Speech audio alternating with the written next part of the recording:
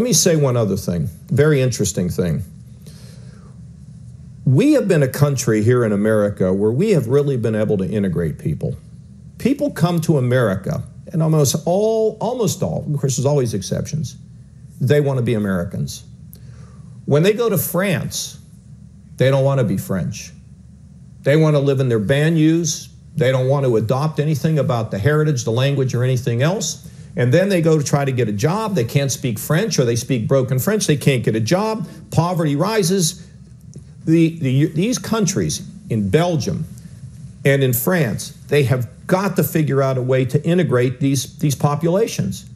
And it's going to be really hard for them to do it. How do you do it? I'm not quite sure. But you know, to some degree, when you go to a country, there's got to be a sense that you want to be in that country, not that you want to recreate your other your old country in that country and never. No, we know with immigrants, immigrants want to celebrate their heritage. That's fine, but at the end, you've got to become a citizen of where it is you want to live.